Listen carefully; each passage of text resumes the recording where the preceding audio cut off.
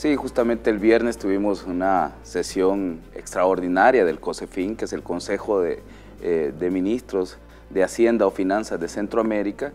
Es, digamos, una institucionalidad regional que coordina muchos temas hacendarios y en materia monetaria también. Eh, estuvo con nosotros el presidente del banco, el presidente ejecutivo del Banco Centroamericano de Integración Económica, el BSE, que impulsa el proyecto a través de la integración de un fondo de 150 millones. Eh, este es un fondo de inversión que se va a invertir, como lo dije el día viernes, en toda la región. No es que se va a invertir exclusivamente en El Salvador, sino que se va a invertir en desarrollar una infraestructura tecnológica capaz de liquidar operaciones de bolsa de valores en cada uno de los países de origen. El mercado de deuda en Centroamérica, Marisol, es un mercado de 120 mil millones. Esto básicamente uno convierte o le da a la región muchos, eh, una ventana adicional, una, ventana adicional de financiamiento que puede abaratar muchísimo las fuentes de, eh, de financiamiento para los países de la región. Eh, si nosotros verificamos Acá tenemos fondos de inversiones, acá en Centroamérica tenemos fondos de pensiones que invierten su dinero a veces en títulos valores de, de otros países o en otros bonos soberanos. Entonces, en vez de sacar esos flujos de efectivo hacia afuera de la región, ¿por qué no hacerlo eh, intra la región? Es decir, poder comprar papeles bursátiles, por ejemplo, un fondo de inversión panameño que pueda comprar papeles bursátiles de Nicaragua, por ejemplo, o que pueda eh, pagar o pueda comprar un bono soberano de Honduras desde un fondo de inversión o un fondo de pensiones panameño, dominicano o de cualquier, de cualquier país de Centroamérica. Entonces, básicamente lo que, de lo que se trata del proyecto es de contar con esa infraestructura tecnológica que nos permite integrar todas las bolsas de Centroamérica, pero para eso necesitábamos necesitábamos que uno de los países funja como eh, centro liquidador de operaciones financieras, si lo queremos ver de esa forma, ¿no? Pero las operaciones se van a realizar, eh, alguien puede comprar desde Panamá, puede comprar títulos valores de Guatemala, por ejemplo, emitidos, pues como dije, o liquidados en El Salvador y que se compran y se pagan en cada una de las bolsas de valores del país de origen. Es decir, se paga, y se, se, paga y se recibe el dinero desde Panamá, se liquida en El Salvador y eh, así pueden tener los demás países de la región también acceso a estos fondos de inversión que se han tenido. Este proyecto, Marisol, es importante que la gente lo sepa. Hará que El Salvador pues también se convierta en un centro financiero. Estábamos hablando de cómo beneficia a la región, ahora cómo beneficia a nuestro país. A nuestro país nos beneficia en el sentido de que nos empezamos a convertir en ese centro financiero, nuestra banca es una banca muy sólida, somos una economía dolarizada y aquí es bueno reiterar, no vamos a revertir la dolarización como algunos lo dicen, el dólar es una moneda de curso legal en El Salvador y así se va a mantener. Ese es básicamente el pilar fundamental eh, por el cual también El Salvador ha sido electo como la sede del mercado regional de deuda. Entonces, nos convertimos en este centro financiero, vamos a tener evidentemente mayores corredores de bolsa, vamos a tener también algunos estructuradores financieros, bancos de inversión que se van a interesar en venir al país, no solo por el tema de la sede del mercado regional de deuda, sino que también nosotros estamos innovando también en materia de criptomonedas y ahí eh, esto vuelve muchísimo más interesante el proyecto del mercado regional de deuda. Entonces, Al convertirnos en esto, en el centro financiero, vamos a tener un mayor valor agregado en nuestra cadena de servicios, vamos a tener generación de empleo, vamos a tener un mayor grado de inversión en nuestro país y operaciones económicas de un mayor volumen. Entonces, eh, de esa forma beneficia a El Salvador. La agenda integracionista, que es el tercer pilar que toca esto, cómo beneficia a cada uno de los países, cómo beneficia a El Salvador, que es la sede del mercado regional de deuda, y cómo beneficia a la agenda integracionista de Centroamérica, que este es uno de los, de los problemas que se, que se ha tenido, que los países siempre hemos impulsado nuestras estrategias de manera aislada. Es decir, Nicaragua hace lo suyo en materia económica, Costa Rica hace lo suyo en materia económica, Panamá hace lo suyo en materia económica, Dominicana igual tiene sus propios ejes, pero esto va a permitir por fin integrar en un eje adicional, que es el, el, el mercado de valores, a la región como tal. Entonces, un verdadero proyecto de integración económica para la región centroamericana que durante 20 años, este estudio viene casi desde los 2000, durante 20 años básicamente se ha retrasado su implementación del proyecto. Básicamente, eh, Marisol, eh, yo siempre prefiero no escuchar a los profetas del caos, como yo le llamo. Eh, es gente que siempre está pesimista, es gente que siempre nunca se va a quedar bien con ellos. Yo veo los periódicos como la prensa gráfica, eh, no resaltan este tipo de noticias. los periódicos como el Diario de Hoy, por ejemplo, no te van a resaltar nunca este tipo de noticias.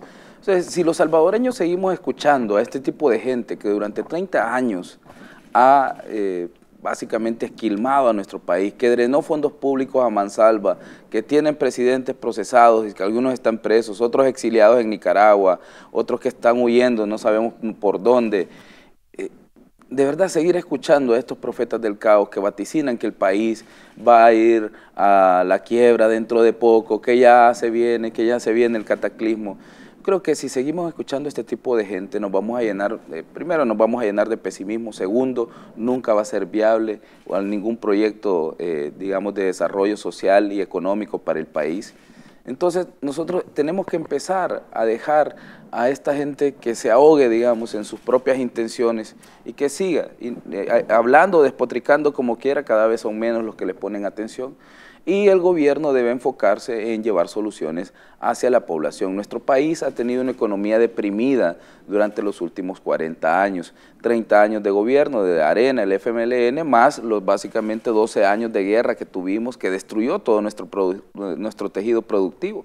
No es ningún secreto que muchas de las obras de infraestructura se realizaron durante la década de los 60 y los 70. En los 80 no se construyó nada, en los 90 en, hacia adelante básicamente la inversión en infraestructura de competencias para el país fue casi mínima, eh, se destruyó el agro durante esa época, en los 90, se privatizaron muchos de los activos estratégicos del país, ahora a nosotros nos toca eh, reconstruir todo ese tejido productivo, nos toca también echar adelante un proyecto de desarrollo económico y social y ese es básicamente lo que ha echado adelante el presidente Bukele bajo la estrategia de los tres pilares, el de bienestar social, el pilar de crecimiento económico y el pilar de seguridad pública. Esos son los tres elementos básicamente de nuestra estrategia de desarrollo económico y social.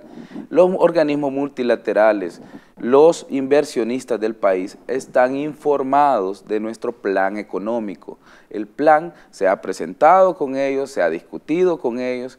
Aún así, siguen diciendo estos profetas del caos, siguen diciendo que el plan no es viable, que el plan no existe y se inventan un montón de novelas que luego vacían en sus periódicos y tratan de vendérselos a la gente. Pero eso no es así. La confianza que los dan los multilaterales como el Banco Centroamericano de Integración Económica, eh, al darnos la sede del mercado regional de deuda y el COSEFIN al, también al votar a favor de que El Salvador sea la sede del mercado regional de deuda, le están diciendo al público en general que confíen en nuestras estrategias de desarrollo económico. El Banco Mundial, al, al otorgarle al país un paquete de 500 millones para inversión en la primera infancia, porque eso nos entregaron el año pasado, se aprobó en la asamblea las operaciones, ¿no? Me estaba, algunos decían, pero es que te estás endeudando. Les decía, miren, ustedes no saben ni cómo se calcula la deuda externa del país.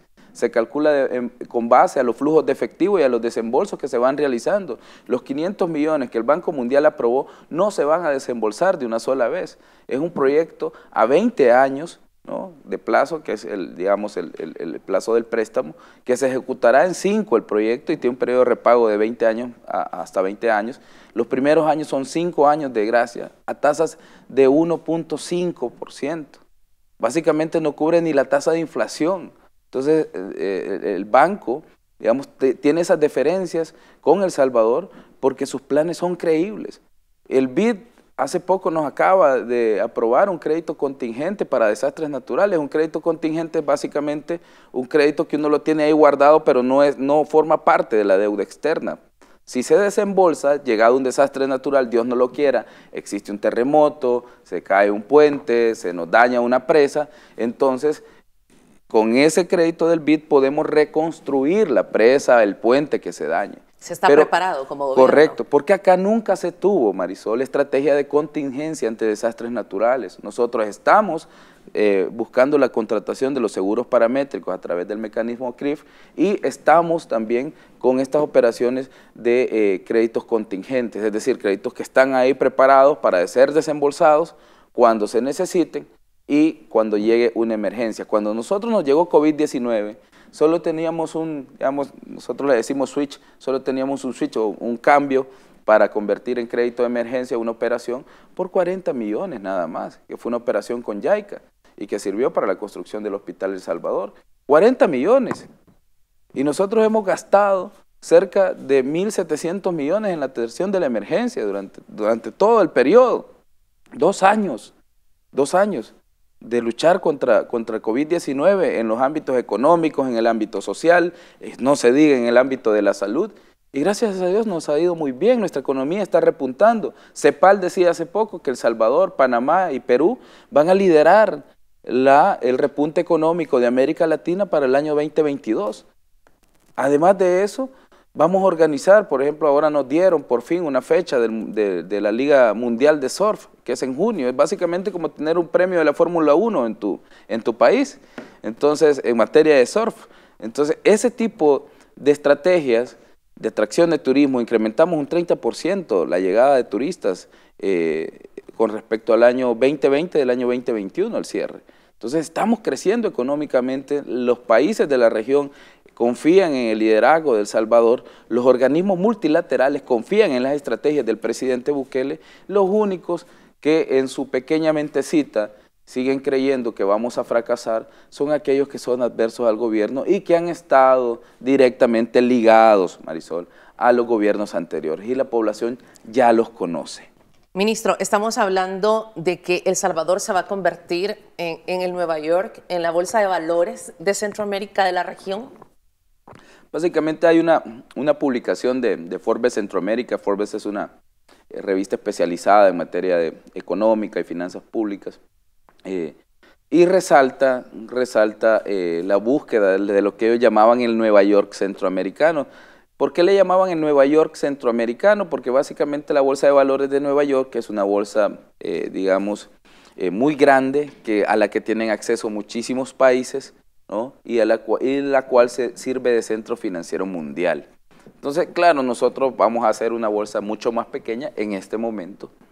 No sabemos hasta cuánto puede avanzar el proyecto. Panamá, cuando empezó durante eh, la, década de los, de los 80, eh, casi empezando los 90, a impulsar su mercado regional o, o, impulsar su mercado de valores, al inicio era un mercado mucho pequeño, pues, o sea, muy, muy pequeño luego fue creciendo en la medida que fueron liberalizando algunas políticas económicas, fueron atrayendo inversiones, bancos de inversión llegaron, abogados eh, llegaron, estructuradores llegaron, eh, llegaron analistas de mercado y empezó a crecer un ecosistema virtuoso, Marisol, que le entregó a Panamá lo que hoy es Panamá. A mí me da risa cuando algunos dicen, miren, se están comparando con Costa Rica, miren, se están comparando con Panamá. Bueno, ¿Y qué tienen ellos que nosotros no tengamos? Panamá tiene un canal, sí, bueno, porque lo construyeron en su momento, pero alguien tuvo la visión.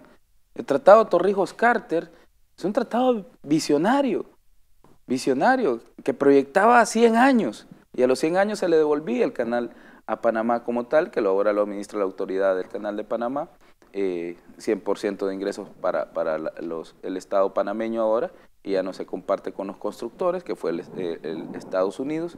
Pero nosotros en el pasado, estos 30 años, no hemos tenido a nadie que tenga la visión. Y algunos se molestan cuando el presidente Bukele anuncia proyectos de gran envergadura y dicen, no, no se pueden hacer, no se pueden hacer, somos demasiado pequeños para hacerlo. Y ese ha sido básicamente nuestro problema, Marisol. Nosotros mismos nos hemos autodiscriminado para no crecer económicamente. Nosotros mismos nos seguimos diciendo, somos pequeños, no lo vamos a poder hacer, eso no se puede realizar, eh, eh, ya el desorden, por ejemplo, de la economía informal no se puede arreglar. ¿Quién dice que no se puede arreglar? Ministro, pero es que con la carga de corrupción que han existido en los 30 años anteriores, muy poco podíamos soñar los salvadoreños. No, evidentemente, pues, evidentemente. Y es con la llegada del presidente Bukele que ese cerco de corrupción, de malos manejos de los fondos públicos y también de una depresión económica intensa en nuestra sociedad, Marisol, esos tiempos se rompen. Entonces, hemos empezado a diseñar un país, un país del futuro, no somos demasiado pequeños. A mí no me gusta que, que y, lo, soy bien sincero, no porque no, porque no me guste el, digamos, el apodo en sí, pero no me gusta cuando a veces dicen el pulgarcito de América o el pulgarcito de Centroamérica. Debemos dejar de concebirnos como una economía pequeña, debemos dejar de pensar que no podemos hacerlo, que los demás países sí pueden hacerlo y nosotros no. Si lo que hay en el otro lado también, lo que hay en los otros países son seres humanos, seres humanos con las mismas capacidades que nosotros podemos tener o con las mismas neuronas que nosotros tenemos. Entonces, si ellos lo pueden hacer en sus sociedades, ¿por qué nosotros no vamos a poder pacificar el país? ¿Por qué nosotros no vamos a poder desarrollar económicamente nuestro país? ¿Por qué no vamos a poder tener un mercado de, un mercado de valores pujante como lo tienen otros países? Ya se, como, como te digo, Marisol, ya se vio en Panamá, que, que todos sabemos que es un centro financiero mundial. Entonces, pero ellos le apostaron en su momento y le apostaron con una visión de largo plazo. Entonces nosotros, eso es básicamente lo que estamos haciendo en este momento. Desde la digamos, el enfoque de la coyuntura, estamos generando competencias que nos ayuden a que nuestra economía sea mucho más competitiva en el largo plazo. Carreteras, desarrollo de nuestra red hospitalaria, la construcción de escuelas, desarrollo también de algunas obras estratégicas del país, como los desarrollos en materia de geotermia que se vienen dentro de poco. El presidente también ha anunciado un, tercer pilar de los 10 impulsos, si tú recuerdas, lo anunció en la cadena, el pilar de, inversión extranjera, ya dentro de poco va a realizar eh, unos anuncios importantes. Entonces, eh, en, esa materia, en la materia de atracción de, inversión extranjera directa. Entonces, eh, también la estrategia Bitcoin nos ha reposicionado a nivel internacional. Eh, City, yo llegué o llego a veces a otros países porque me toca a veces viajar por trabajo, algunas reuniones de negociación, como lo hice con CAF, por ejemplo, al ingresar El Salvador a CAF. En ese tipo de misiones me dicen, ministro, ustedes dejaron atrás el mote de un país violento. Ni la mejor campaña publicitaria pagada con multimillones o un montón de millones hubiera logrado cambiar la imagen del Salvador en tan solo dos años. Ahora todo el mundo los conoce a ustedes por surf y los conoce por, por Bitcoin. Pero ya nadie habla, me dice, del Salvador, acá afuera por lo menos, me dice. Nadie habla del Salvador eh, como un país violento, como el país, uno de los 10 países más violentos del mundo o como el país más violento del mundo. Ya no se habla por el tema de las pandillas como principal referente de su sociedad. Entonces, ese cambio de la imagen internacional del Salvador se ha logrado solo a través de un trabajo arduo con el presidente durante básicamente dos años continuos, eh, sin parar. A pesar de la pandemia. Sin parar, a pesar de la pandemia, y como él mismo nos lo ordenó durante la cadena. Necesito que implementen estas 11 medidas para que la crisis por inflación no golpee a nuestra población, pero también no pueden olvidar lo que ya estamos haciendo. No pueden hacer que los planes que ya tenemos se detengan. Entonces, él decía también, no, no afecte, me decía en mi caso de, manera directa, ministro, no afecte la inversión pública. Vaya por el lado del gasto corriente, revise qué podemos hacer, verifique y ataque la evasión, pero no afecte la inversión pública. Porque si nosotros reducimos el margen de inversión pública que hemos determinado para este año, los resultados económicos que tuvimos durante el año 2021 se van a caer y no sirve de nada. Yo les decía a algunos empresarios del país, en una reunión que teníamos, que el problema nuestro es que tratamos de impulsar la economía durante el último semestre del año. Y el último semestre del año no necesita grandes impulsos, porque el dinamismo con el que se mueve un país, que su mayor eh, pilar es comercial, ¿no? el último semestre del año se compra y se vende mucho más productos. La época navideña, tú sabes cómo dinamiza nuestra economía. Entonces nosotros tenemos que impulsar o dar un impulso desde la política fiscal en el primer trimestre del año. Apuntalar que el crecimiento no baje el ritmo. Y para eso necesitamos recursos que hay que invertir. Y en ese sentido vamos a buscar a nuestros socios multilaterales y ahora tenemos también al mercado regional de valores que nos va a dar también un acceso mayor a mejores fuentes de financiamiento. Sí, el presidente hacía referencia al paquete de reformas económicas, eh, se van a enviar iniciativas eh, a, la Asamblea para que sean estudiadas y posteriormente, pues si, se obtiene el visto bueno de los diputados, eh, que sean aprobadas como tal. no están circunscritos única y exclusivamente al mercado regional estas iniciativas, sino que van a facilitar la implementación del mercado regional de deuda como tal. Algunas de ellas están dirigidas, por ejemplo, al reconocimiento de eh, criptoactivos, a la regulación del mercado de, del mercado de criptoactivos también en el país como mercado de valores.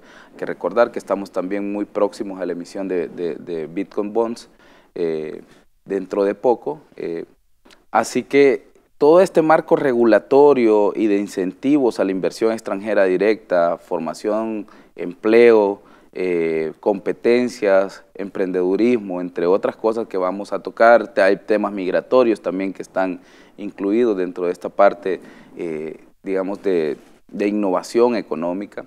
Van a mejorar nuestro clima de inversiones y también nuestro clima, interno de seguridad jurídica. Eh, Marisol, creo que es importante destacar que El Salvador es uno de los países con un marco regulatorio eh, bastante solvente o bastante fuerte. Vamos a mejorarlo ahora con este tipo de iniciativas.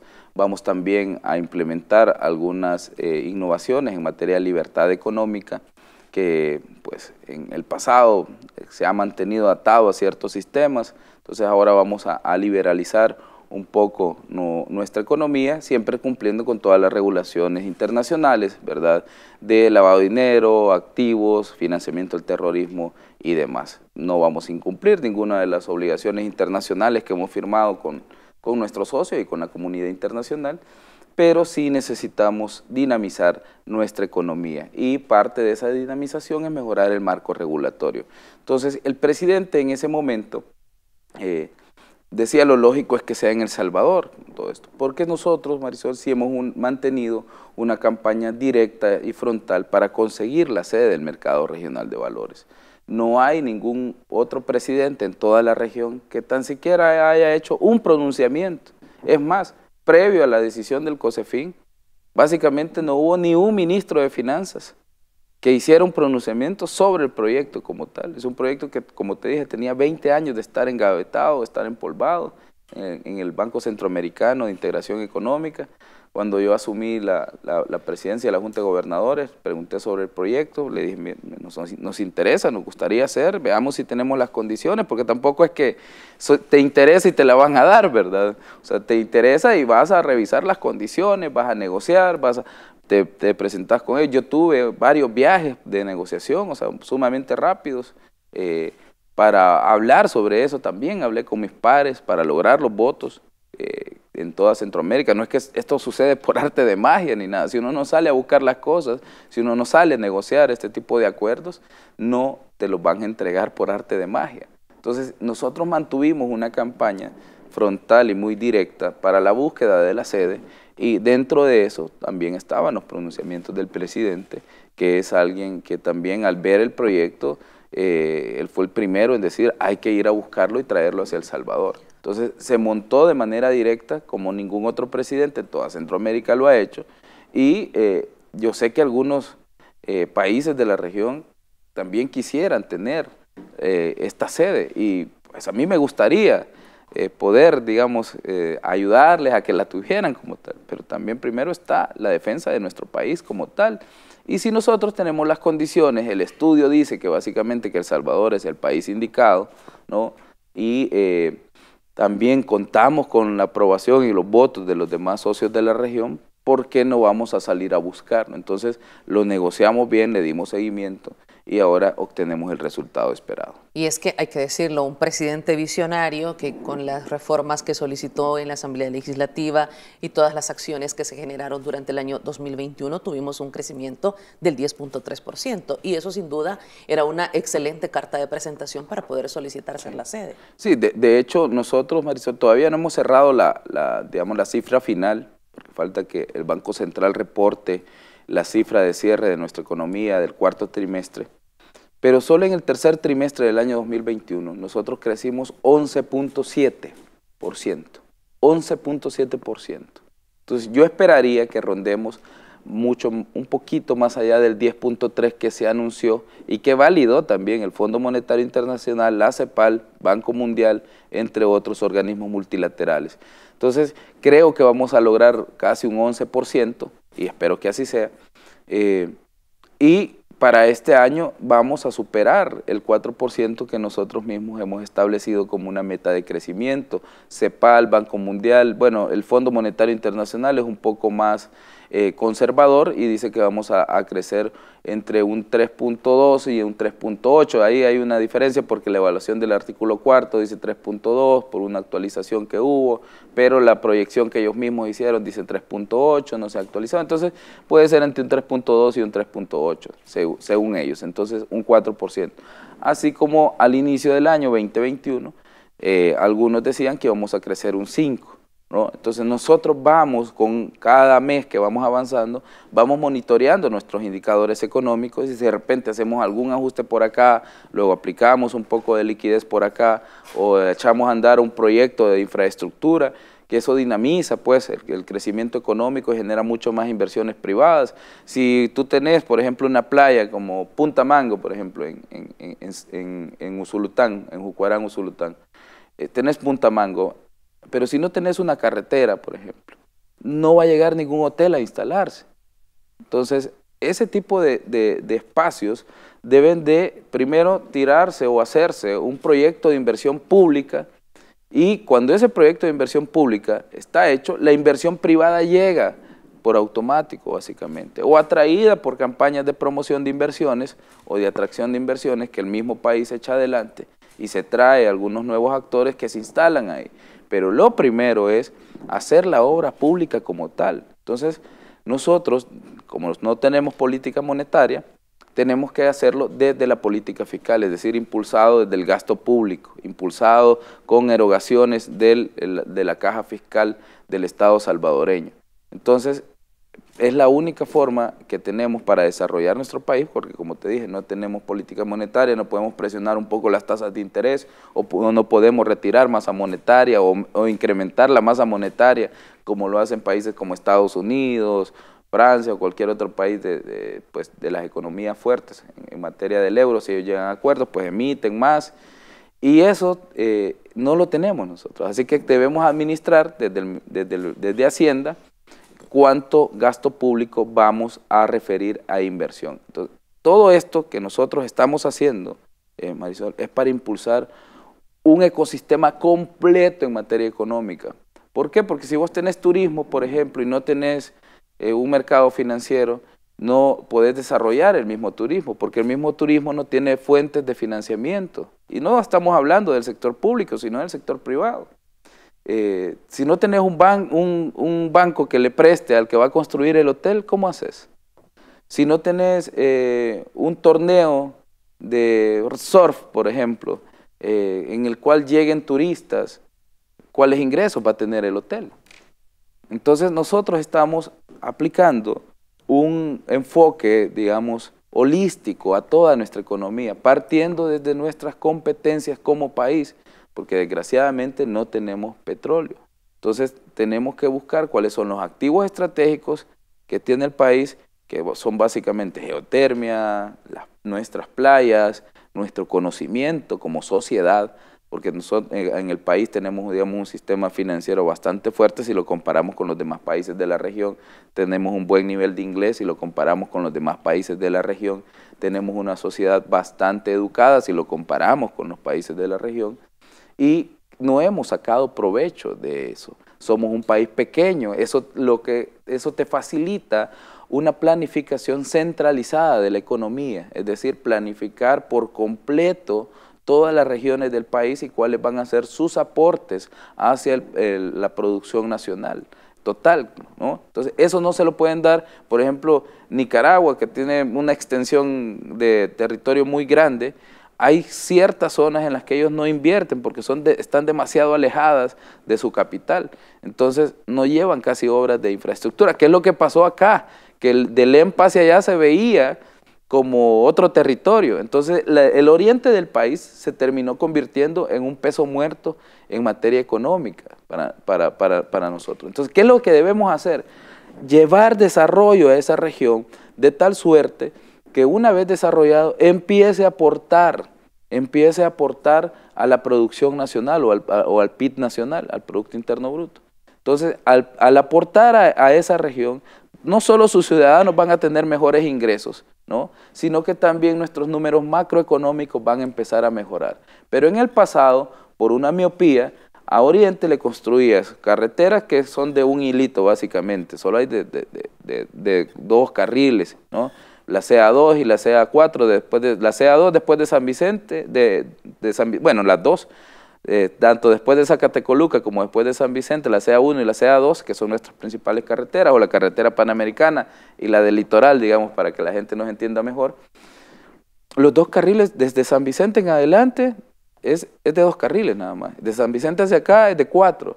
La, la CA2 o carretera del litoral, desde Zacatecoluca en adelante es de dos carriles y de Zacatecoluca hacia atrás de cuatro. Por, entonces, ¿cómo vas a tener un buen flujo, por ejemplo, de mercancías cuando nuestros camiones van con todas las mercancías a pasar por el Amatillo, que ya muy pronto la vamos a inaugurar, por cierto, Marisol, vamos a dar esa muy buena noticia de la inauguración del Amatillo. Eh, pero ¿cómo vamos a movernos rápido esa mercancía si las carreteras son de dos carriles? Entonces hemos empezado a construir infraestructura que le genere competencias a esta zona geográfica del país y que aporte todo el potencial que ellos pueden aportar a nuestra economía nacional. Entonces, eso es la, la ausencia, esa ausencia de visión holística fue lo que condenó a nuestro país a una depresión económica durante los últimos 30 años. Y esa visión holística que hoy posee el presidente de la República, Nayib Bukele, es lo que lo lleva a dar estos pasos de manera acelerada, pasos agigantados, sin duda. Quiero leer uno de los tweets que colocó recientemente y decía, estoy por enviar 52 reformas a la Asamblea Legislativa para quitar el exceso de papeleo, reducir la burocracia, crear incentivos fiscales, promover la ciudadanía a cambio de inversiones, nuevas leyes para el mercado de valores, una estabilidad contractual, etcétera. Así lo detalló el presidente de la República. Sí, estas, estas eh, más de 50 iniciativas, eh, Marisol, se han planificado desde, desde hace un buen rato. Y como te digo, nosotros somos de la idea de que una planificación excesiva también entorpece el desarrollo de los planes nacionales. Eh, en el pasado aquí se planificó y se sobreplanificó el país, pero se quedó en eso, en planificación. Hay estudios de los anillos periféricos de San Salvador, desde la época del doctor Armando Calderón Sol, desde esa época, desde el 94. ¿Y cuándo se echaron adelante esos proyectos? No se hizo nada en el pasado. Con la Diego de Holguín, si tú lo recuerdas, ahora eh, Boulevard Monseñor Romero esas carreteras se robaron básicamente todo el dinero que se había puesto en ella. Con la represa 3 de febrero, que estamos también muy prontos a inaugurarla. Eh, el dinero, básicamente en una sola operación se robaron 500 millones. 500 millones. Es increíble. Pero los estudios estaban bien. La planificación estaba bien. Había plan quinquenal. Había el plan El Salvador Seguro, si tú lo recuerdas, Marisol. Y nos mataban a 30 compatriotas diarios. Entonces, cuando sobreplanificas un país, también tenés los efectos de que en la realidad no ejecutas. Entonces, el presidente sabe tener ese equilibrio entre planificación sobria o planificación necesaria, ejecución rápida, para que los beneficios lleguen realmente a la gente.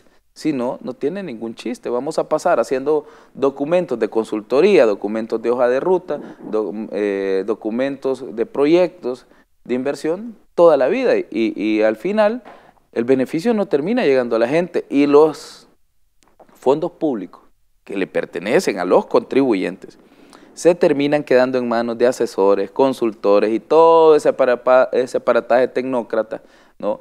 Que al final te termina siendo que la gente no percibió nada de todo lo que pagó.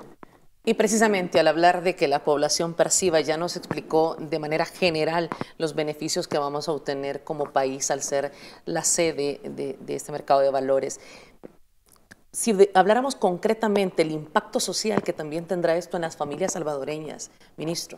Sí, bueno, vamos a tener generación de empleo, nuestros jóvenes van a poder accesar a otro tipo de, carreras, ¿no? En el sentido de que si desarrollamos, por ejemplo, nuestro mercado de valores, que ya nuestra bolsa es, digamos, eh, pues un poco mediana, digamos, a nivel de bolsa de de Centroamérica, de hecho es la segunda bolsa después de la de Panamá, la segunda bolsa más fuerte.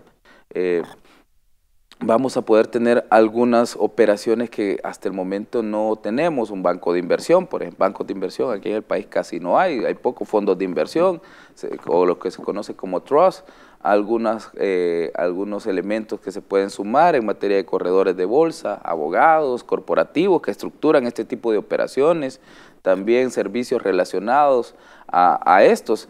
Entonces hay un andamiaje mucho más amplio, Marisol, que va a abrir oportunidades de formación, de empleo, de inversión incluso para nuestros ciudadanos, ¿no? en este tipo de mercado. Entonces, eh, en Panamá, si tú ves, encontrás edificios corporativos, vas a Nueva York y está Merrill Lynch, está, eh, bueno, eh, todos estos bancos de inversión, JP Morgan, BlackRock, que son bancos de inversión ya muy, muy grandes, ¿no? que te ayudan o que también tienen una función en el mercado como tal. Entonces, esa es inversión privada. Esa es inversión privada. ¿Qué es la inversión pública? El ministro de Hacienda, el presidente, buscando la sede del mercado regional de valores. Por eso te decía, lo primero es la inversión pública. Nosotros hemos hecho una inversión pública, el hecho de viajar a negociar la sede, el hecho de estar pendiente, de estar monitoreando, de tener un equipo negociador con, tanto con el banco, con el COSEFIN, como con los demás eh, ministros, porque hay que lograr consenso, hay que hacer llamadas, hay que hacer, todo eso es parte de la inversión pública que nosotros pusimos para conseguir la sede. Una vez conseguida la sede acá, la inversión privada empieza a venir, no en automático, sino que también hay que promoverla, ¿no? pero, pero, como te decía, esa es básicamente la lógica que nosotros seguimos. En el pasado lo que se esperaba acá es que el privado haga una inversión y después, si el gobierno le da la gana, si el gobierno quiere, pues ve si le ayuda o no le ayuda a salir adelante. Nosotros, en medio de la emergencia por COVID-19, si tú lo recuerdas, Marisol, sacamos el FIR Empresa, 600 millones inyectados a nuestra economía. Inversión pública. Eso es inversión pública. Se pagó con fondos públicos para salvar todo nuestro andamiaje empresarial del país, porque si no, muchísimas de las empresas, mucha gente que a esta hora va camino a su trabajo, tendría que haberse quedado en casa, porque las empresas se quedaron cerradas, porque quebraron, porque ya no pudieron seguir vendiendo, mientras que si tú entrabas a Bandesal podrías tener un crédito que te aliviara la carga financiera de ese mal momento y esperar a recuperarte en los próximos meses, como ahora lo están haciendo, ahora que ya tenemos un buen ritmo de vacunación, ¿no? Ese ritmo de vacunación es lo que ha permitido que todas las empresas estén abiertas. Es lo que ha permitido que, como te digo, que a esta hora de la mañana haya gente que va camino a su trabajo, porque durante la pandemia ese centro de trabajo, y creo que algunos no me van a dejar mentir, estaba cerrado, porque no podían ah, eh, circular las personas, porque con ellos circulaba el virus. Entonces, ¿cómo hemos logrado que nosotros estemos abiertos y otros países, como por ejemplo en, en Europa, muchos países de Europa siguen con restricciones de COVID-19?